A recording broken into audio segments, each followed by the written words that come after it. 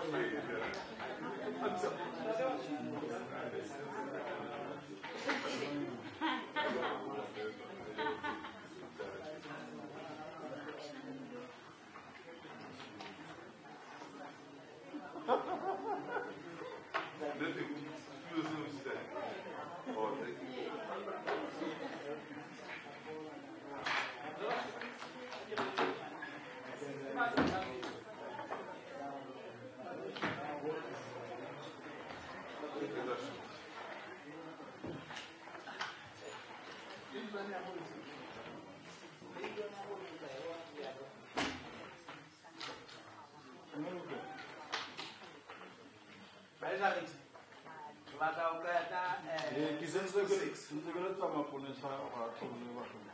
Atuwale wakumbuka. Atuwale wakumbuka.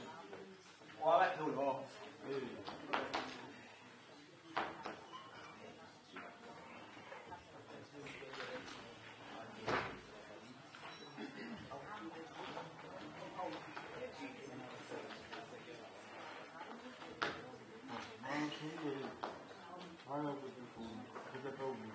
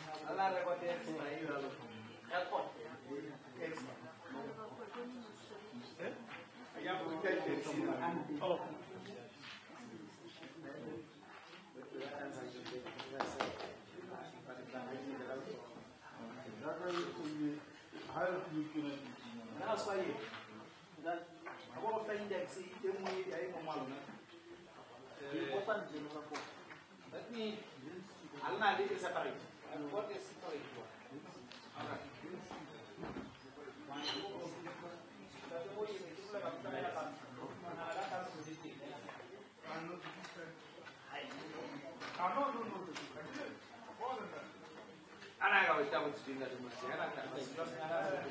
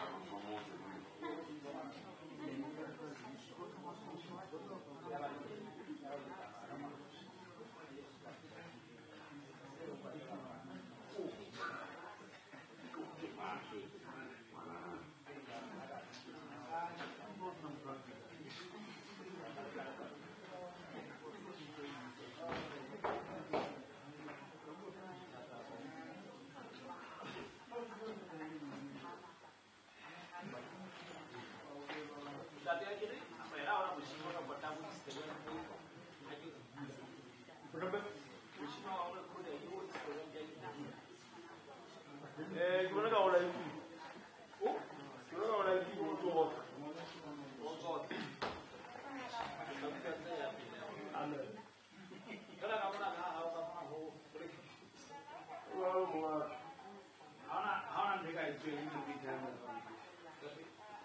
Hi.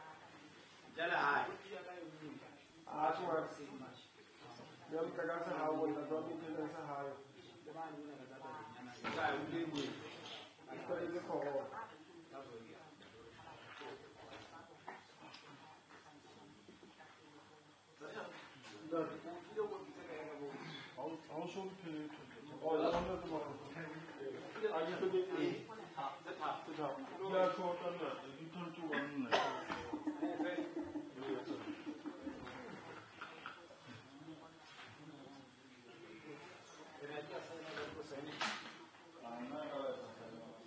아, 살아지나? 주부위원한테. 아기 뭐는 Kızılay'la registrare constitutional rules. Io non ci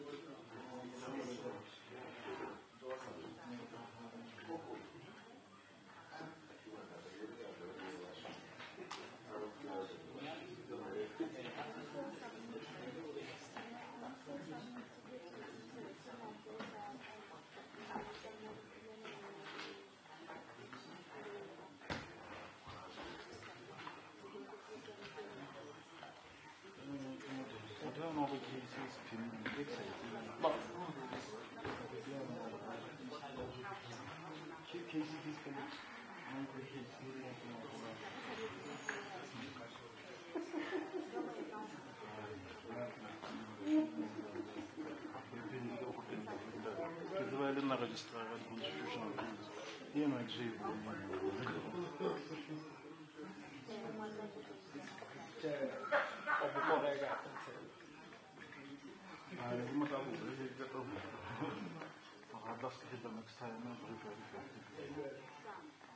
Because Harley you went to know. No, no, Goldman.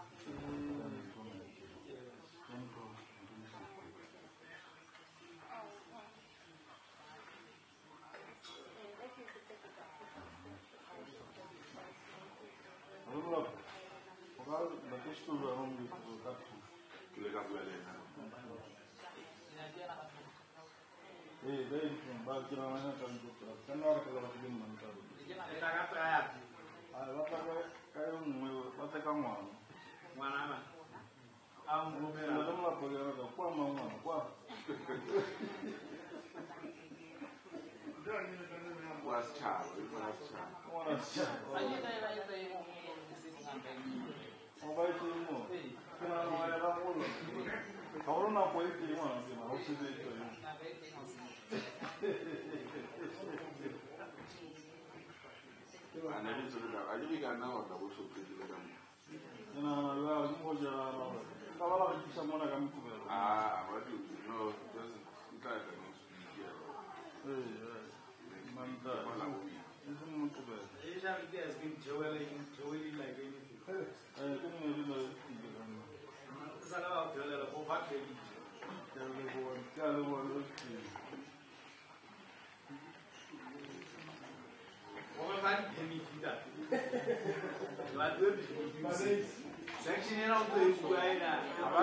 havaiti vachavanotaze zvitunha zake kurisana rikukwadzika madomu ukanetozokuvara umbatemika kwamupetemi ene ndei yakakupetsayo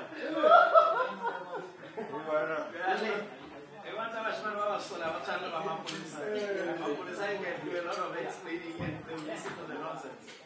Endava can never rationalize how else I need it. So Masolo, don't even listen to the nonsense.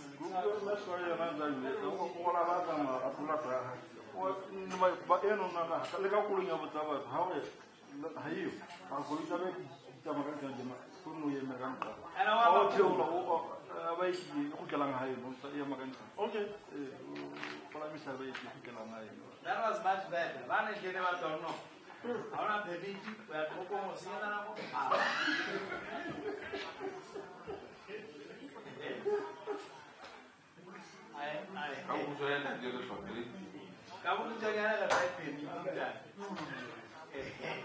All the one is steady, there's nothing else. Bawa nak buku lebih dia, satu tulis apa kali tu. Anak kita mesti dia, anak masih kuat. Kuat masuk dalam masjid. Ilan ba yon dad? Mwen tele le. Amon. Mwen yon dad. Mwen ba pe di kila pa mwen tele. An to we shen yon. An to. Daga mwen an gen yon kwa jela mwen gen di kwen yon tam mwen chala. Ya an na se yon kata wita gen kota. Onati. Daga le an bata. Onati. Na lo bata gen kota gen ay kote kusa. Mwen ay sila ay kwa. Kata wai kwa jeki. kaga wannan daga in da ka zama sai na fara cewa wannan mutum sai da kibo ko bi kita wannan ce ka da kota a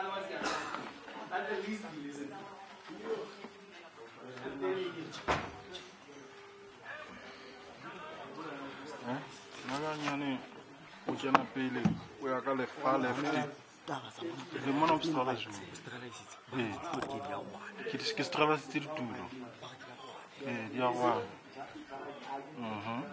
Listrarazit. Everything. Limona daflem. Ajiro be ilimi banya. Be ilimi banya kan kana ja.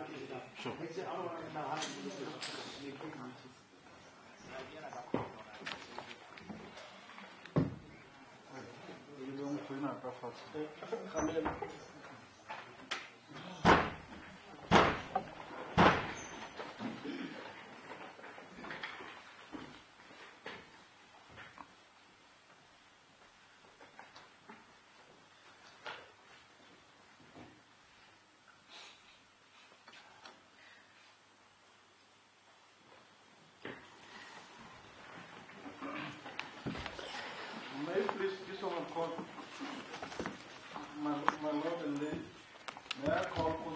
Number 6 of 2020.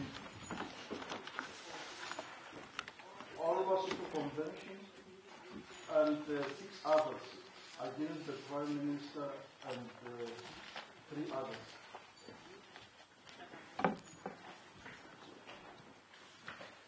Good morning, my lords and my. I am K. Ndebele.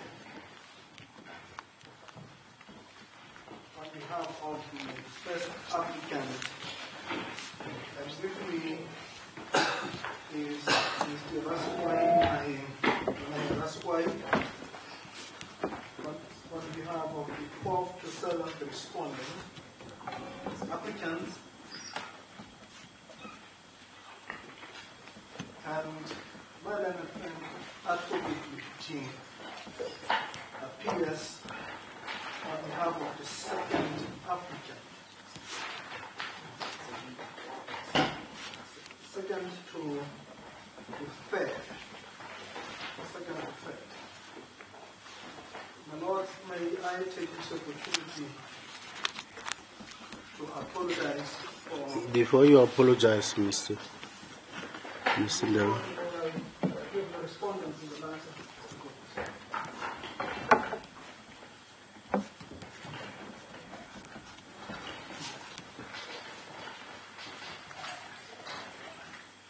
yes. Yes, Mr. Mr. Ndebele, Yes, you, you wanted, I wanted to tender my apology. be, before, before you do that, Mr. Mulati, Lord, uh, Malati, I am Henry Malati. I'm going to appear before court uh, on behalf of the interveners.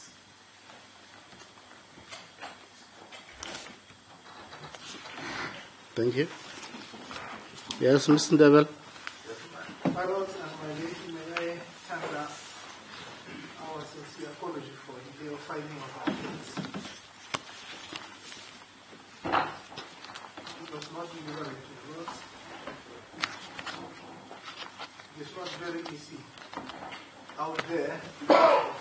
This person is what is happening? What is happening, Mr. The Ndebele? libraries are closed, where we buy paper, the printing, in fact, the facilities are closed. It is not very easy to have resources out there. But you, you approach this court on an urgent basis.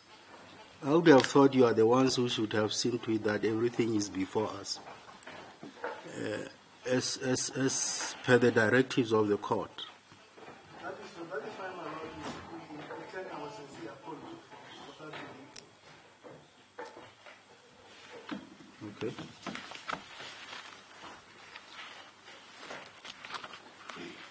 M- Mr. Mr. Taylor, what, what do you say to that? No, I, I can only confirm that um, I received this as a argument as I came this morning at the conference. I, I haven't even had time to read through them. There are three sets of heads of arguments uh, running into some 30 page, pages each. And uh, I I haven't read through them. But, uh, I'm ready to proceed, my lord. I, I, I only regret that uh, we should have been dragged before court on the so-called urgent basis, and we, we, we kept to the time limits that the court had provided. We, we filed our like, our opposing evidence in time. We filed our heads in time, and Alan and friends simply did not. Uh, it is no excuse that uh, you know, shops are closed or anything of that sort. You know, I, I submit with respect that this, this really has been a, a great inconvenience. But nevertheless, we are prepared to proceed because we do not want to hold uh, the, the business of the court. Yes.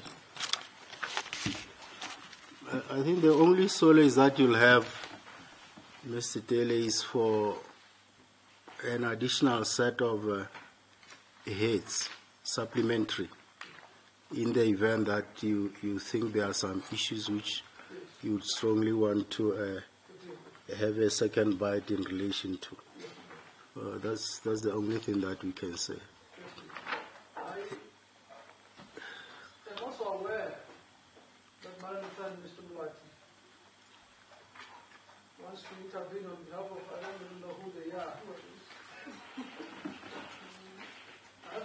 this up the copy of this application.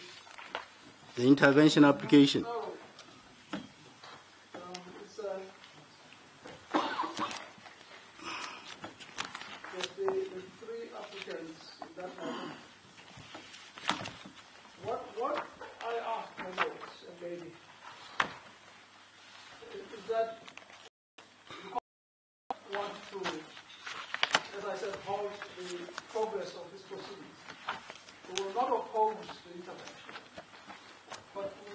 insist that because our little friend came late before this court, that he should be prepared to work on the basis of the papers already before the court.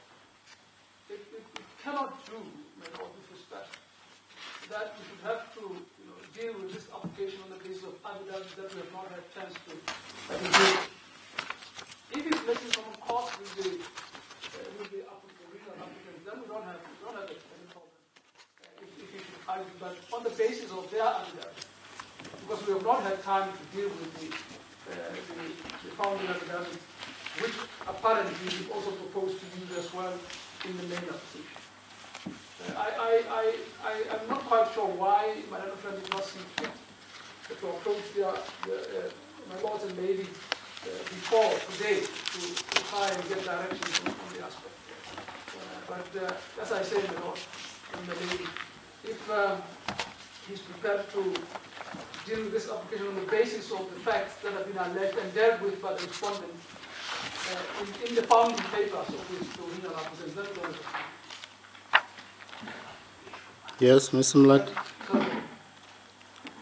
So, uh, I actually would uh, briefly address the court insofar as this case is concerned on matters that appear on in paragraph five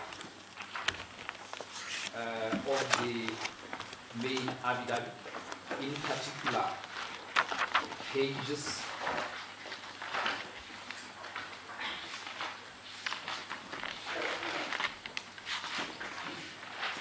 fifteen, sixteen, and seventeen, together with how the respondents have actually dealt with the matter when they answered in their answer affidavits. That is the only part of which uh, I am going to have a fight. And uh, secondly, there is uh, an issue which uh, the, the, the main applicants uh, have specified in page 16 of the record, that is paragraph uh, 5.11, paragraph F, Roman figure 3. And uh, the Page? Page 16. Roman 5. Roman 3. Roman 3, yes. Roman 3.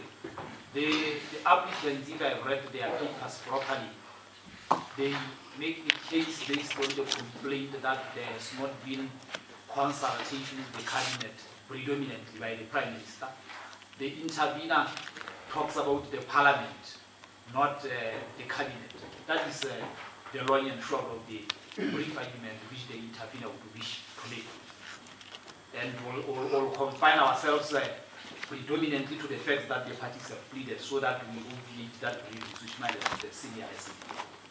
So, as I understand it, you are only intervening in relation to prorogation, In relation to the prorogation, that is not, not uh, the, in relation to the other reliefs other that, reliefs, that, that the applicants are pursuing. other reliefs that are pursued will be dealt with by their main applicants. That is.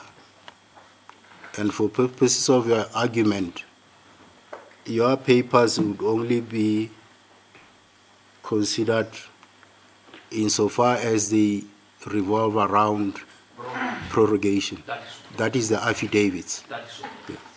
And that essentially your case is that, um, um, as against the, uh, your co-applicants, your case is that the parliament should have been consulted. That, that is so. Because uh, when we look into their notice of motion, paragraph 2.8, they talk about uh, the, the, declaration of the Prime Minister's act to prorogue. It being challenged on the basis, amongst other many other factors, that there was no endorsement of the executive. Instead of saying executive, for our purposes, we're going to say parliament, not the executive. Okay. That is the interpretation. That is- Yes. Uh, Gentlemen, Mr. Puting, are you still on the, on the housekeeping matters? or Well, thank you, my lord. Uh, I, I assumed we, we done with the housekeeping. with the, I, I assumed we are done with the housekeeping uh, issues. And uh, I, I was proposing how we intend to handle the matter from our side. No, no, what I want to find out before you say anything from council uh, is uh, the way forward. Yes, ma'am. lord. I realize that there are some preliminary issues raised by the respondents. That's correct, And I just wanted to find out from uh, Mr. Taylor, uh, how should we proceed? Should we deal with the issues holistically, or you'd want to press your the disposal of preliminary matters first? I, I, I would have loved to insist on the points in limine, but unfortunately that would not uh, save this court's time Yes. maximum. So I prefer that if it pleases the court, we deal with the uh, points in limine together with the matter. Together with the merits. Okay. Thank you. Yes, Mr. Puti? Thank you, my lord. My lord, we, for our, our side as applicants, we have filed two heads, set of heads of argument. Uh, They are, they are heads of argument filed on behalf of Basotho National Party and Dr. Magwai. I wish to start uh, addressing the court on them. I just need to be certain that their lordships and my lady are in possession of the right documents. Yes. Yes, we have them. As a proposition. Yes. My lord, the, with the permission of this one of court, may we focus on page 16? No, Mr. Puti, you cannot start now. The first applicant has to start. You are for the second and third, isn't it? That is true, my lord. What about the first applicant? We should start with the first applicant. We should start with the first applicant. That's Yeah, then we'll come here sequentially. It cannot be right that you being number two and three, you should uh, run the race first. I support this. Yeah, let, let, let the first run.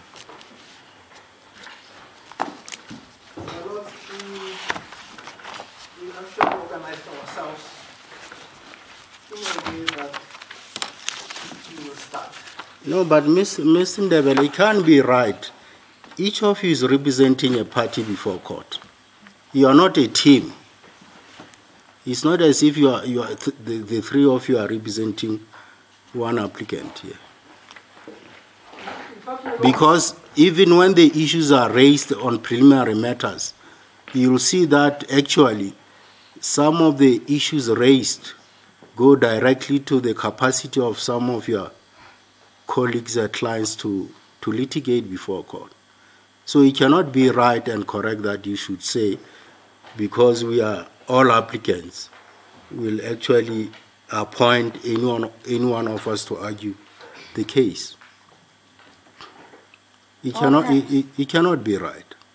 Or perhaps maybe you should give us the reason why you had you intended that Mr. Liputin should be here, if it is valid. Perhaps not. We share, effectively, the course of action is the same. Yes, we're seeking the same news on the same facts. Now, to avoid the repetition of submissions, we organized ourselves to say, you, Mr. Liputin, address the following issues on behalf of LUV. Mr. Raswani will address the following issues and I will address one of these issues. This is how we intended to handle the matter. But, but in that case, Mr. Ndebele, there's no harm in Mr. you starting. You do your bit, Mr. Raskoy will do his bit, Mr. Putin will do his bit. Not the other way around that counsel for the other party should start first. In fact, what they are saying, uh, tempts me to submit that, that if, in fact, they have split up their clients, who's one client, in fact, only one of them should, should address the court. Because if they are saying then they are, they, are, they are- they are dealing with the matter as a team, they're representing them as a commonality, as a common factor, then I will submit that, then one of them should address the court. You should not have to suffer, you know, to, to, to wait until every one of them has said something. When it is clear that in the circumstances, they are in fact presenting all these clients in common.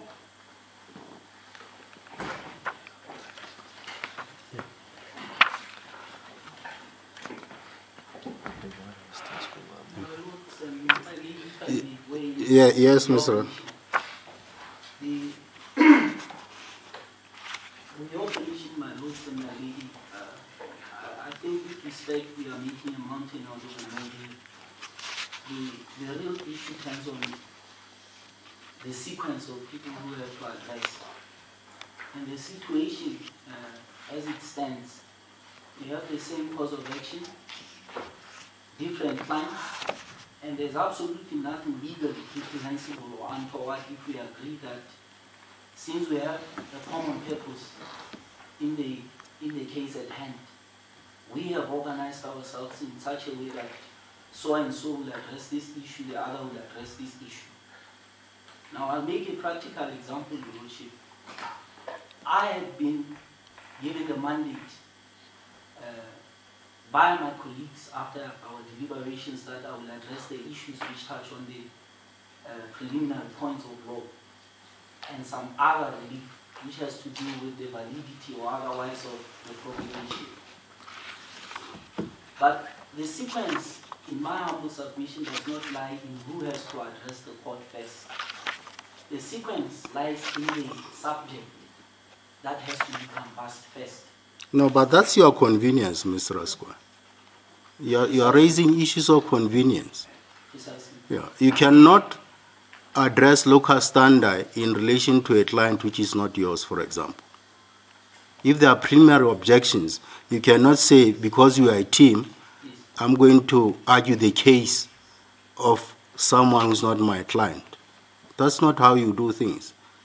Remember, even when it comes to costs, in the event, for example, that there might be a need for punitive costs, how, how are you going to handle that?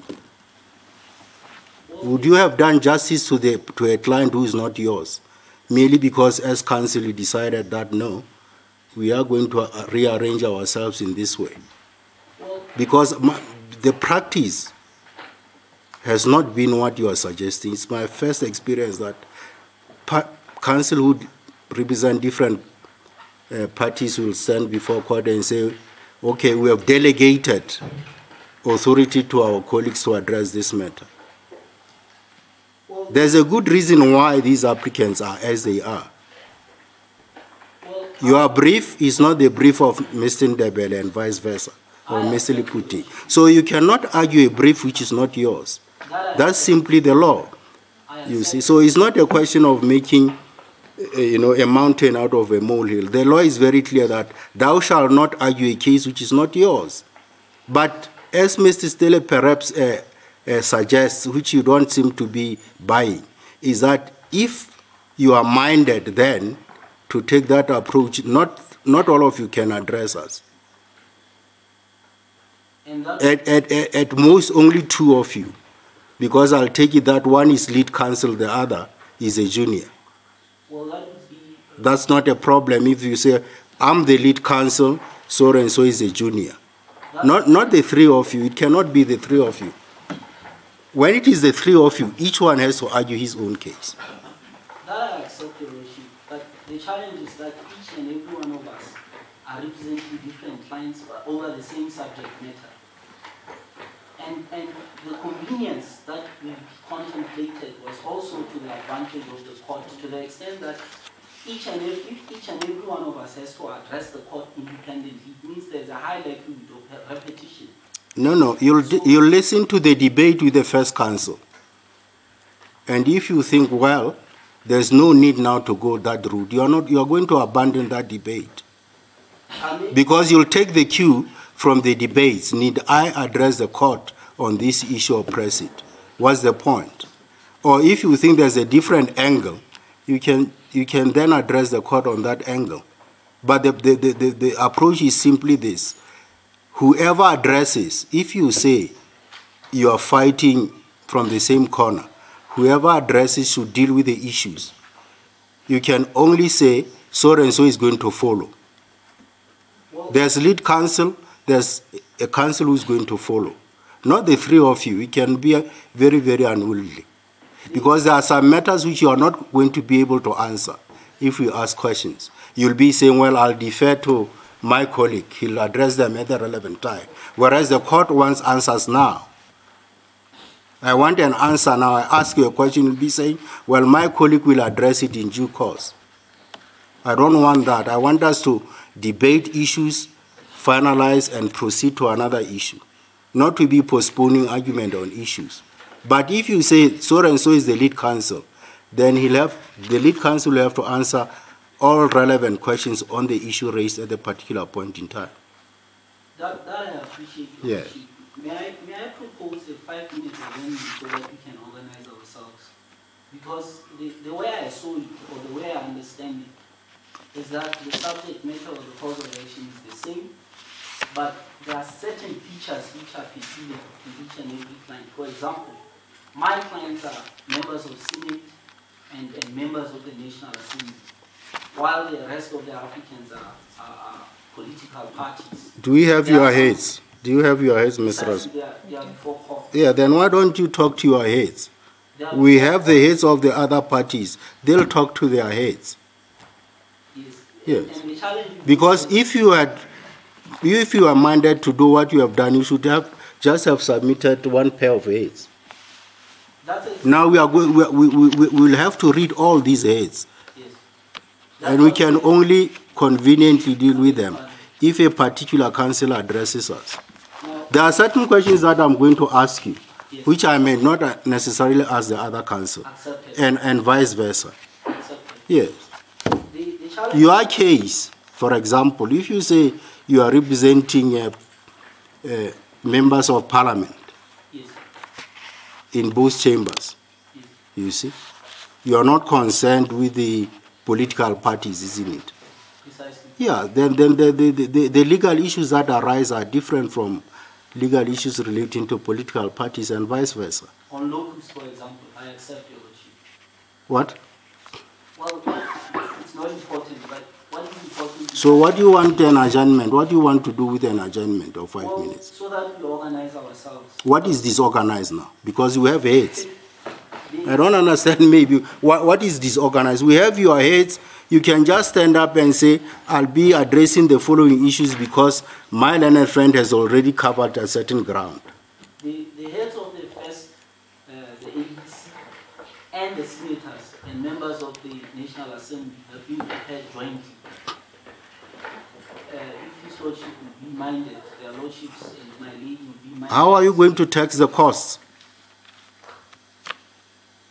Well, If, if, if, if you do these things jointly, when it comes to taxation of costs, how are you going to tax the costs?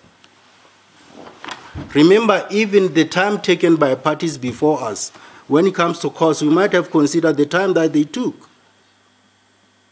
well, the, So this thing is more complicated than you are putting it. That I accept. Yes. The more the reason I, I, I humbly request an adjournment. But for what purpose? For the purpose I have to know what, what is it that you want to achieve with this adjournment? Because you have heard what we are proposing. Yes. Do, do you take what Mr. Taylor is suggesting or you, you don't go with it? That there should be lead counsel, then there's counsel who's going to follow. obviously don't accept it. If you don't accept it, then each party should address us. Yes. Because um, we'll be asking questions and they'll, they'll have a bearing on costs, and you have heads before us. I don't understand what the problem is. These heads even came late. Why, why do you want us to adjourn? Why don't you address your point?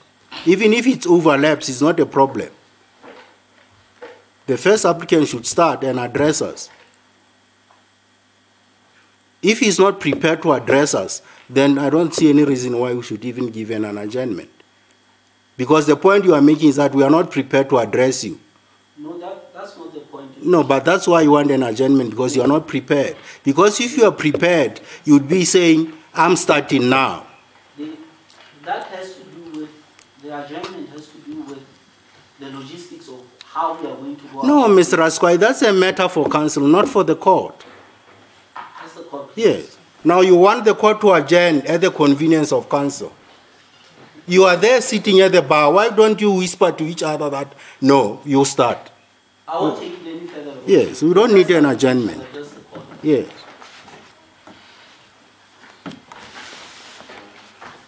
Yes, Mr. Mr. Ndebele.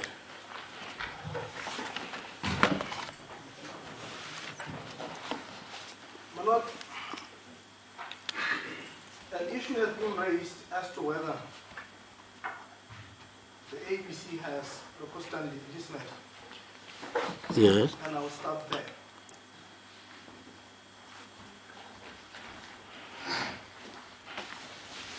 Lord,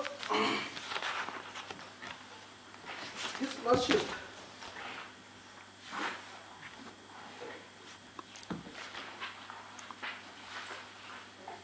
Sakoane. J and Inapati J and one. In the case of uh, Machibe Mukoti versus and others a Speaker of National Assembly.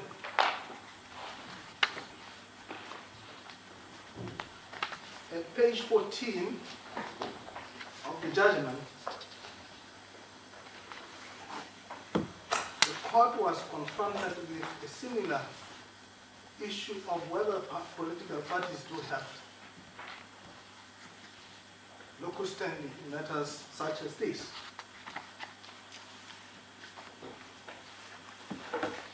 And this is what the court said. And I quote paragraph 20. Of your heads. It's, It appears in the judgment. The judgment. okay. I'm quoting the judgment, my lord. Okay. And um, it appears at page 22, paragraph 5.21 of our head. Yeah. The court said political parties and coalitions are formal institutions recognized and protected by the Constitution. They play a key role in the appointment and removal of the Prime Minister in terms of Section 83.4c, 87.2, 5b. Their numerical strength is key in the appointment of the leader of the opposition. They hold seats in terms of section 57, 1C, Roman figure 2, as amended, and have locus standi to challenge membership of parliament in terms of section 69 of the constitution as amended, read with section 126, 3 and 4, the National Assembly Electoral Act of 2011. Thus, political parties are not just vehicles of ele- ele- electioneering and conveyor belts to parliament. They are legal persona with interests and responsibilities in the constitutional and statutory scheme of things.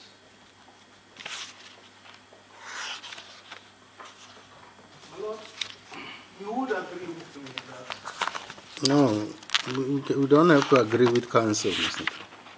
We submit, Yeah, you submit, you don't, you don't solicit our agreement. that's the court wishes. Yeah.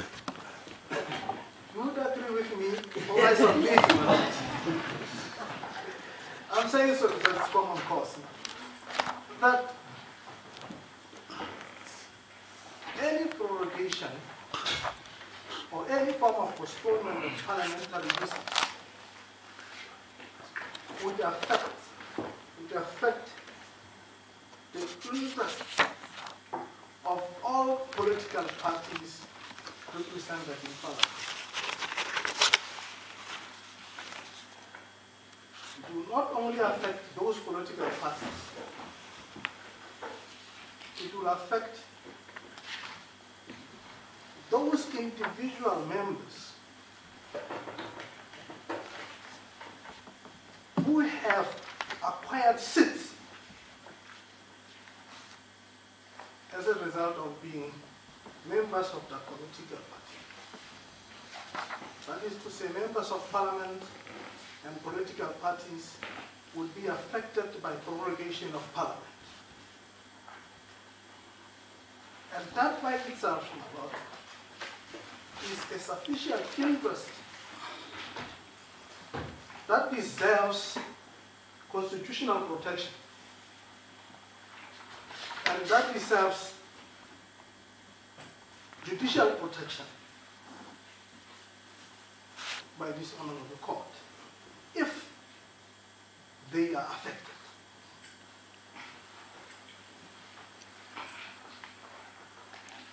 My lord, I will take it further to refer this honorable court to the case of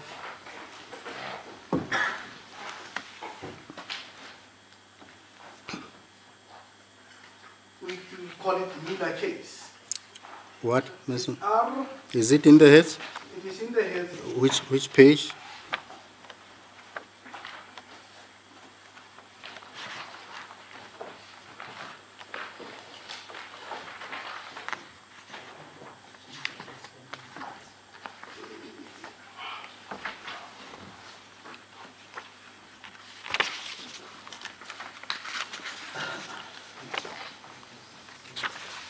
may, may I refer to the respondent's head for reference?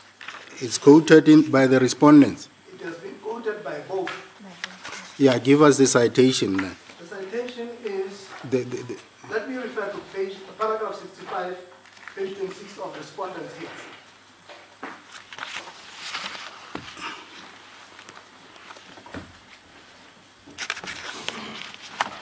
paragraph? Paragraph 65.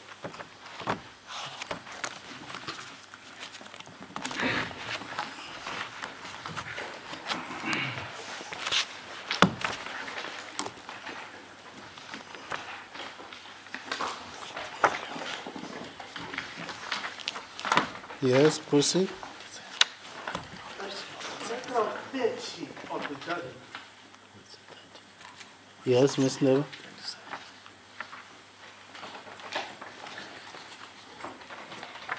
Is it Miller? That's Miller, my lord. Okay. I would prefer to call it the Mi- Miller case. Yeah, it's, yeah, it's Miller, paragraph 67. Is, Yeah, paragraph 67 of respondent's head. yeah. Yes. Paragraph yes. Paragraph 65. Is it 65 or 67? That's 65, my lord. Okay. Yes. I want to refer to paragraph 13 in that judgment, page 12 down. Yes. This is what the court said in that paragraph, particularly the last sentence, the last sentence Yeah. paragraph. It says that situation does, however, place the Prime Minister on the Prime Minister a constitutional responsibility as a person with power to do so.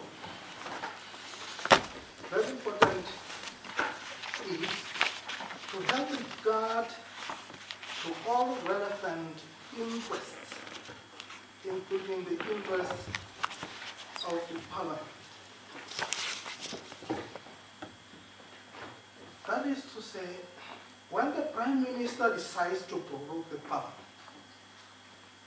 he must consider the interests, he must consider all relevant interests and the interests of the parliament. We submit that the interests of members of parliament and political parties who are members in that parliament must be considered when prorogation decision is taken. And if they are not, then they have the right to come before this honorable court to seek the relief. So your complaint is that the the interest of the party in parliament was not considered. They were not, my lord. And now, As as as as I, I read the papers, uh, I'm not now sure because uh, I don't know whose case it is. There's a reliance on a coalition agreement by by three by four parties. Yeah. Does it have anything to do with the what you call the legal obligation of the prime minister to consider the interests of your client in parliament? I'll come to that aspect. Because we have, the, the ABC has interest in this matter as a party in parliament. That is number one. Yeah. In other words, you, you are not, yes. Number two. Sorry. Number two, it has interest in this matter as a member or as a part of coalition. And we will address the issue of coalition. So, for the time being, you are only confining yourself to parliamentary interests I was only dealing of the custody of the ABC in this matter, in parliament, in parliament, not outside parliament. not outside parliament. Okay. Yes. And to wrap up that issue of the lord, I would say yes. The ABC has the custody in this matter. Now, to take it further, it is common cause that But, but Mr. Ndebele, if, if you are saying the party has to be consulted at parliamentary level, that would mean uh, members of the party in parliament.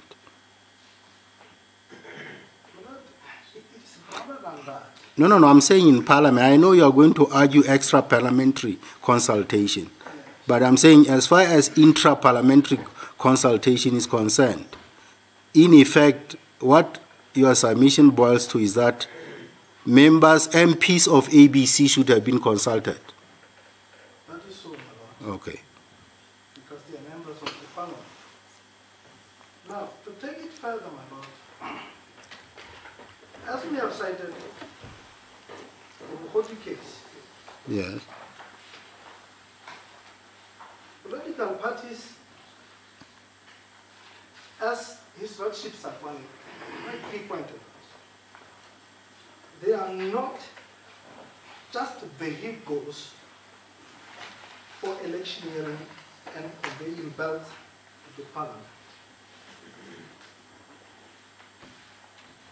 They are recognized institutions under the constitution. And they have rights which are enforceable before this honorable But to take it further, my lord, remember, this is a representative democracy, whereby majority of the people have elected ABC. ABC as a party has about 53 members in parliament.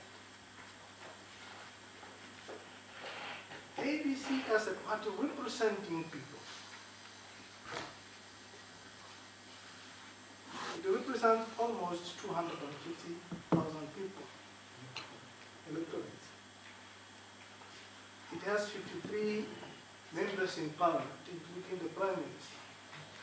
But those MPs in parliament, Ms. Ndebele, aren't they representing the whole nation? I mean, after elections, uh, are, they, are we supposed to say, okay, look at the party colors in parliament? Because my understanding of the law is that the party colors are irrelevant in parliament. They are not, my lord, because they are, it is their numbers that is considered for purposes of establishing the government. But if you say that, it would mean that an MP would stand up and say, well, I, I object or oppose a certain project because it's being directed to benefit a constituency from which we don't have a, an MP.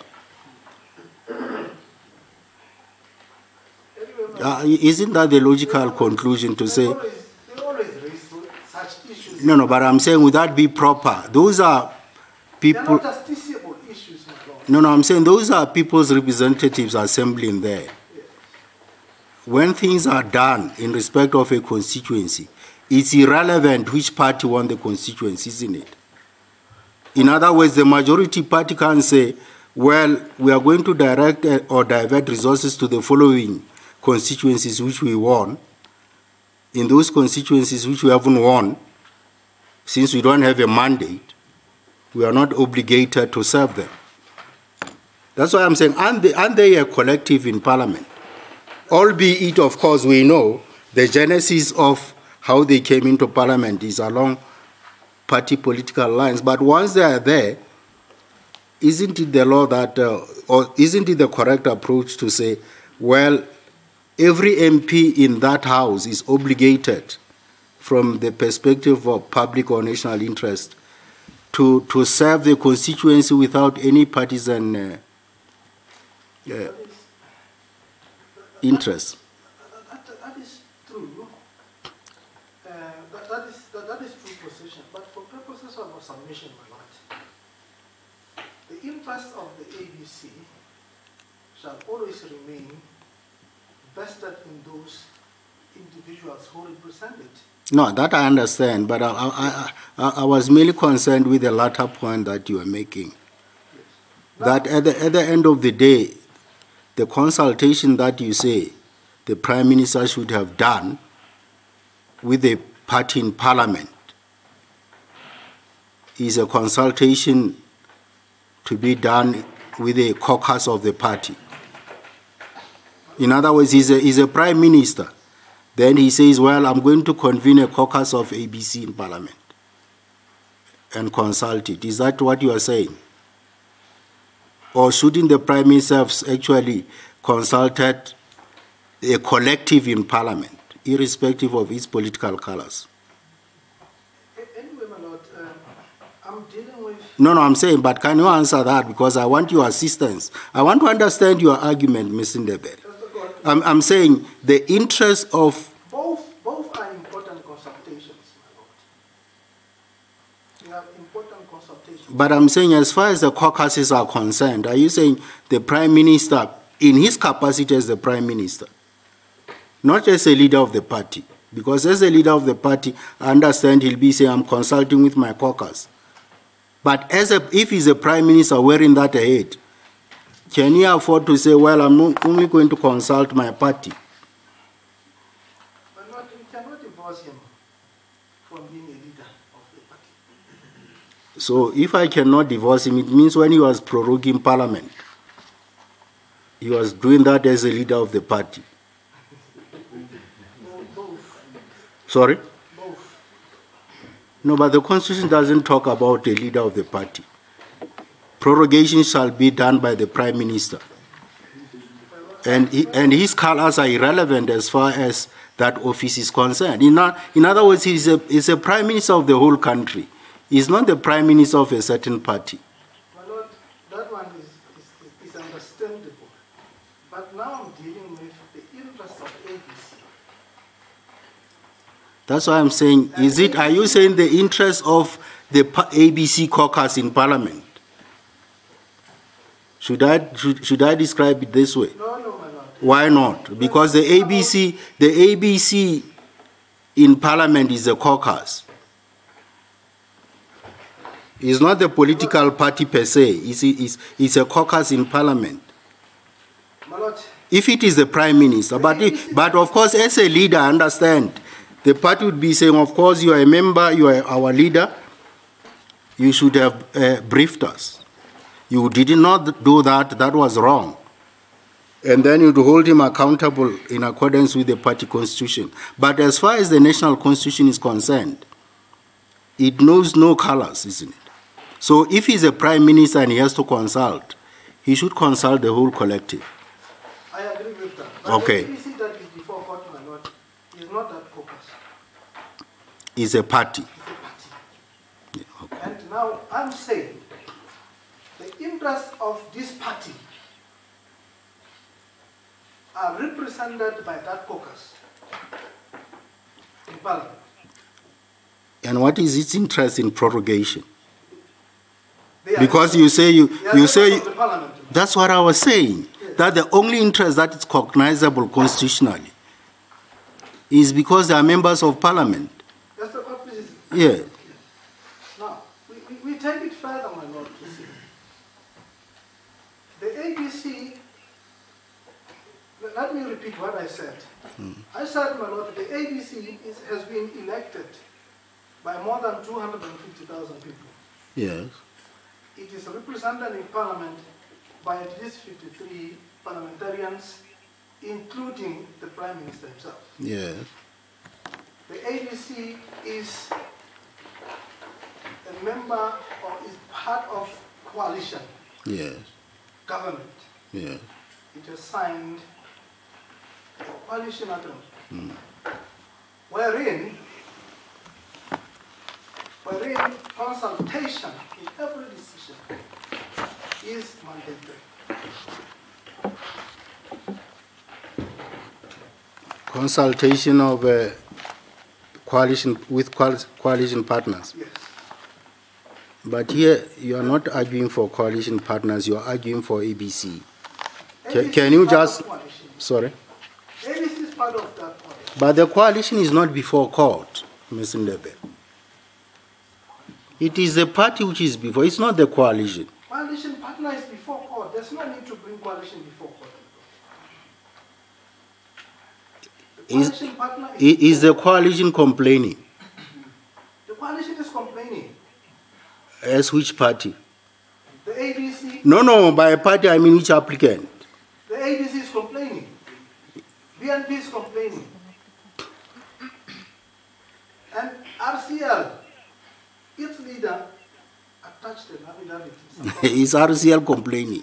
It is. A member of RCL, Yeah, but not the party. not the party. Yeah, so RCL is not complaining. Not yes. But where I am is, Is, is, is AD complaining? we complain about its. Yeah, it's not, com- so it's not a coalition. That's what I'm saying. You, Members, you should, members coalition. yeah, not the coalition. Yes, There's a difference between a did not say coalition. coalition is before court, my lord. Sorry? I did not say coalition is before.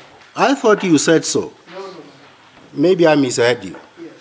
Members of coalition Ah, before court. are before court. That I understand. That I understand.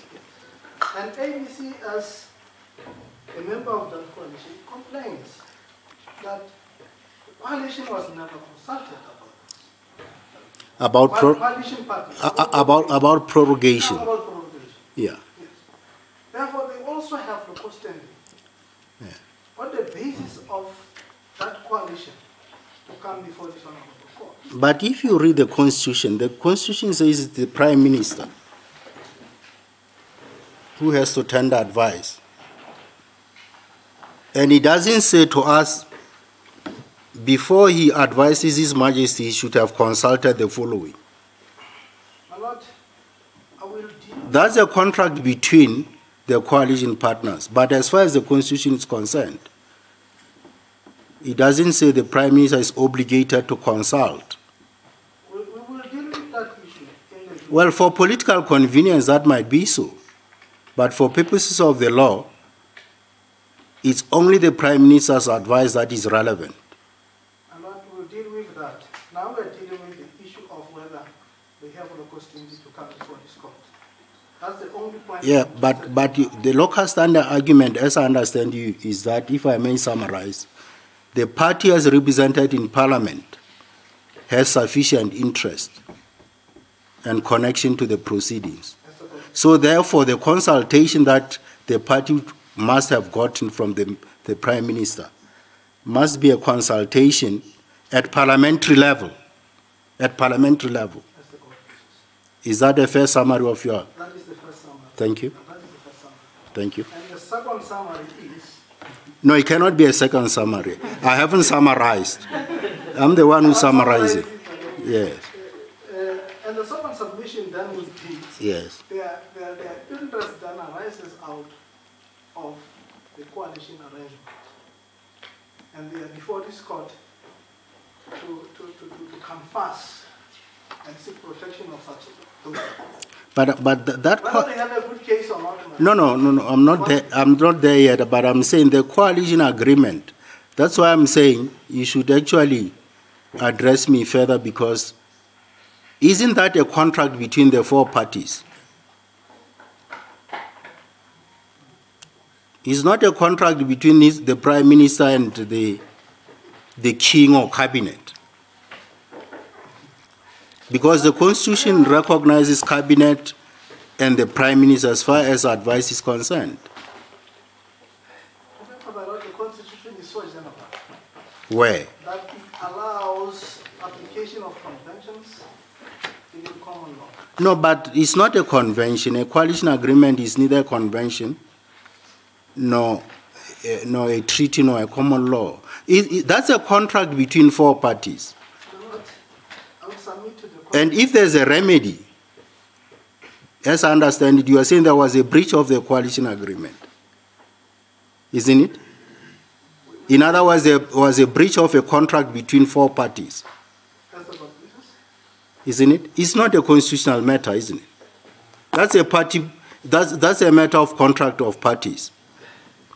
And your remedy, if that contract is breached, is to pull out of the coalition to say, well, That is a political th- that's the problem now when you project or transpose an, such an agreement in these proceedings, because we are only concerned with the provisions of the constitutions where they breached. Lord, can I, can I, can, can I finish lord? Yes, please. So please. And I want to submit, my lord, that I hold a totally different view regarding the issue of the coalition agreement. No, but your views are not relevant before before me. Yeah. I'm not I'm not interested in your submissions, not your opinions. You should argue the make submissions and tell me why you say that coalition agreement is cognizable in these proceedings for purposes of prorogation. My lord, we'll deal with that in the due course. May I proceed to other issues? We'll address this court particularly on the issue of whether that contract is a constitutional, uh, constitutionally recognized or not. In Where is it pleaded? Before you leave it, where, where, where, where is it pleaded in the papers? I want to do justice to that argument. Where, where, where, where do I find it on record? The justiciability of the coalition agreement. Where is it pleaded?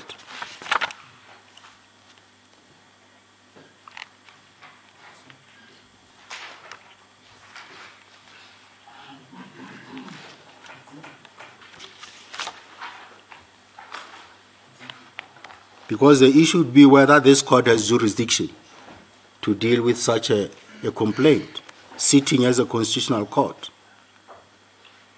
If parties breach their own contract, can you come a constitutional court and force breach of, breach of the contract or observance of the contract? Assuming, assuming there is such, and you have pleaded it, would this court have jurisdiction in terms of the constitution to deal with that, with a breach of that agreement? My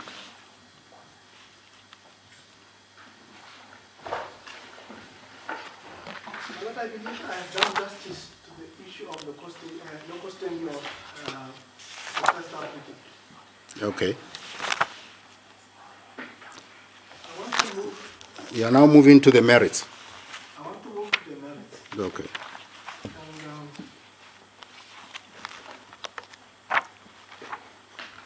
The issue of non-joinder, Mr. Non-joinder. hello? Non-joinder. The issue of non-joinder. Yes, yes. Uh, The issue of non-joinder appears in my case. My Lord,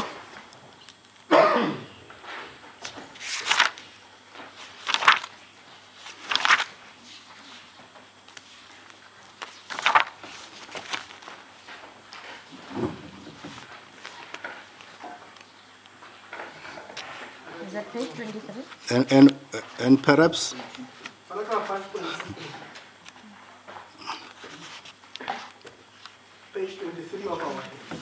yeah,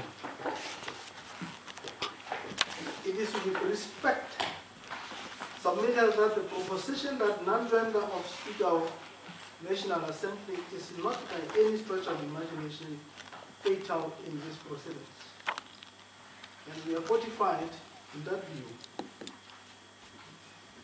If that argument holds true, it would effectively, effectively mean that, on the same note, the President of Senate ought to be equally joined in this proceedings. We shall commence on the firm footing that the citation of Attorney General by the notion of the concept of severability does away with the point the extent that the Attorney General is joined, enjoined by law to serve the interests of all state agencies, including the parliament. The if, Attorney if, if, if that is the case, Mr. Ndebele, which is an issue that perhaps I was going to raise, the propriety of uh, suing His Majesty.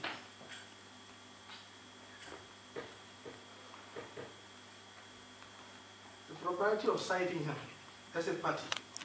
When you cite, you are suing him, isn't it? Yes. So there's no distinction. You cannot cite someone you are not suing. That is from the- Because my reading of the papers are clearly that His Majesty didn't do anything legally wrong. And, and, unless perhaps I didn't quite understand the papers. It is the Prime Minister who actually went on some, some project of advising His Majesty. But I'm saying, His Majesty, as a sovereign, not as the, as the crown now, as the sovereign, never did anything wrong.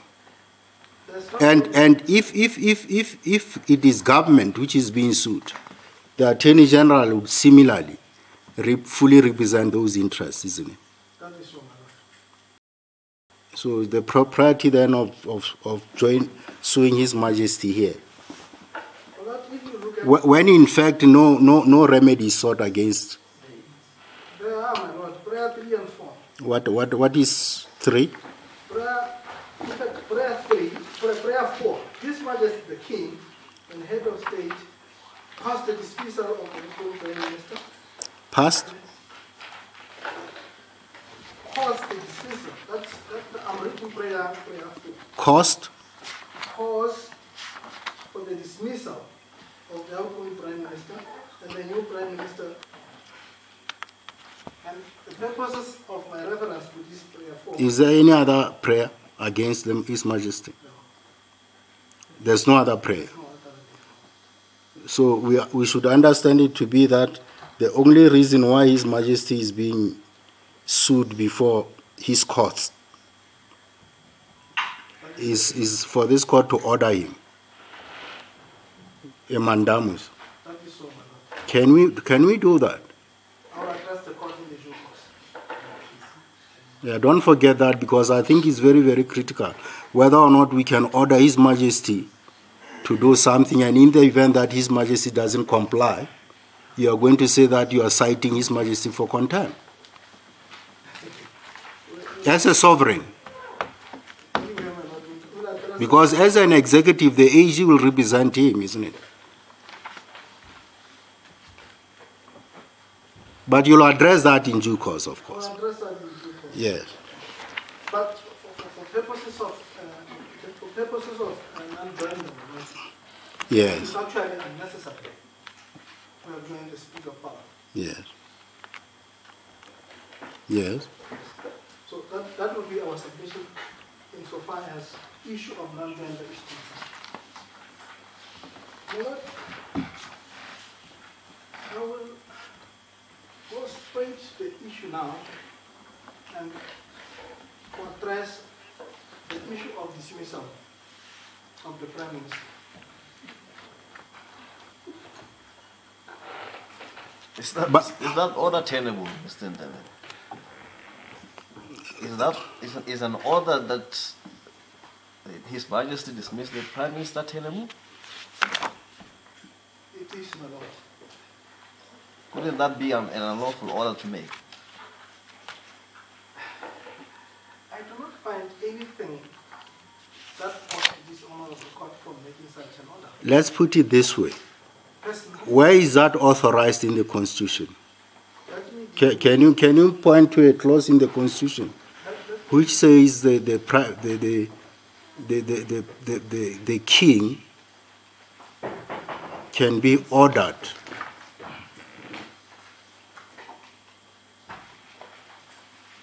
It is not To- there in the constitution. yeah that's that's why my brother was asking is it legally tenable It is legally tenable because it's mandamus. No no no no Mr. This court, this court has authority to order mandamus. That's why I ask, can we order the king? Can we issue mandamus against the crown? I submit. Remember, mandamus is a remedy that, that is actually uh, available to force a public official to perform a statutory function, not the sovereign. We are a constitutional monarchy, isn't it? And His Majesty is obliged to act uh, in accordance with the advice. So if you say we- should order him to, to, to dismiss, why don't we say, I, I would have thought someone should advise, not for the court to order. How can a court issue an order? Remember, we are His Majesty's court. Mr. Put differently, um, in the Constitution, is there uh, a provision that, uh, that places a duty on His Majesty to dismiss the Prime Minister, such that we, such that we can sit here and order him to, to perform that it duty? it is time, my and I was about to make address it. submissions in that. Yes, show us the section of the Constitution which places a duty on His Majesty to dismiss the Prime Minister. Uh, uh, I- I ask the court, please. My lord, the, the source of the authority of His Majesty to dismiss the Prime Minister uh, appears in section, in fact, let me say, it appears in the Constitution, one. Two, it is part of his uh, reserved powers, which are under common law and convention. No, no, Mr. Show us Ndebele. the provision of the Constitution. The Constitution, we are, we are not dealing with prerogatives here, Mr. Ndebele. Remember that in England, the, the reason why the, doc, the, the prerogatives are there is because they don't have a codified constitution. We have a codified constitution. All powers has to be sourced from the constitution. Constitution- If it's a constitutional power, we have to find it somewhere in the constitution. Not everything.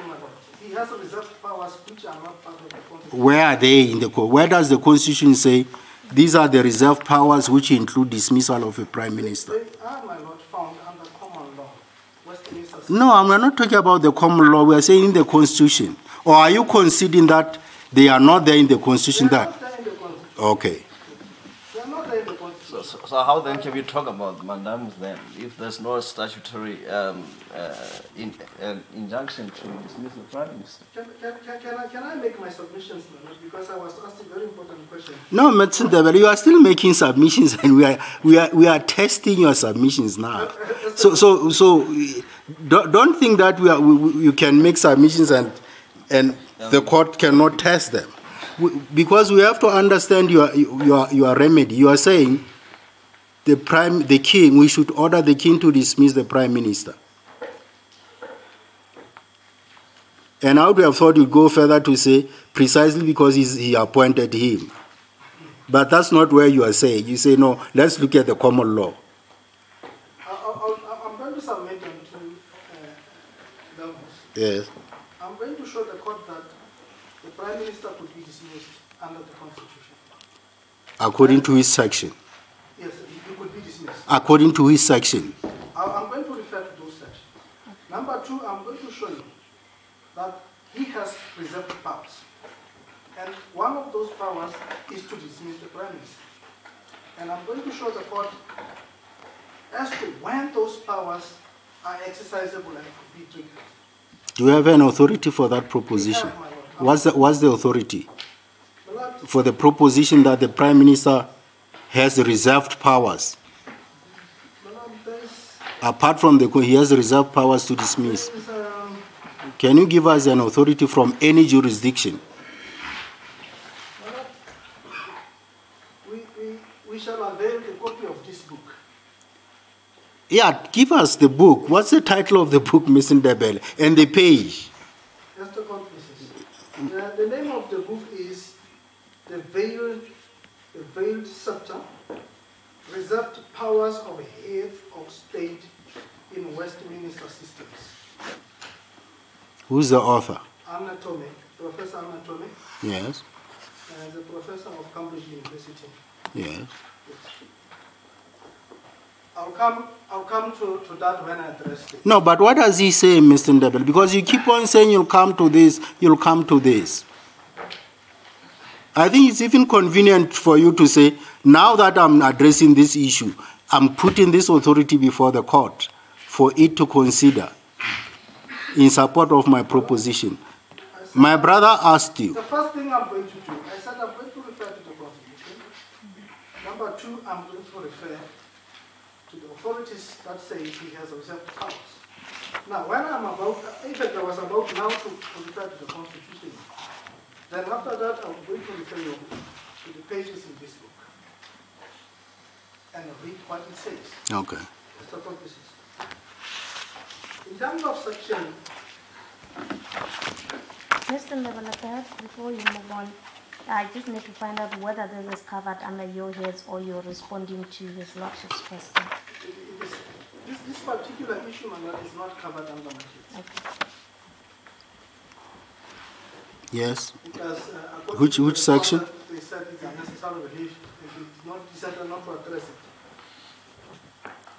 In terms of section eighty-seven five,